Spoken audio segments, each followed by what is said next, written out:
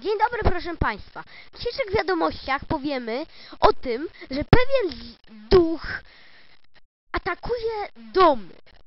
Kiedyś zdarzyło nam się, że zaatakował nasze studio. E, czy mi się zdawało, czy za mną był jakiś duch?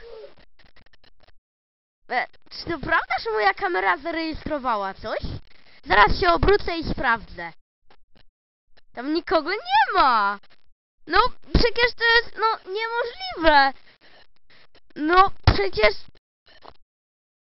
Ja się bardzo boję tych duchów!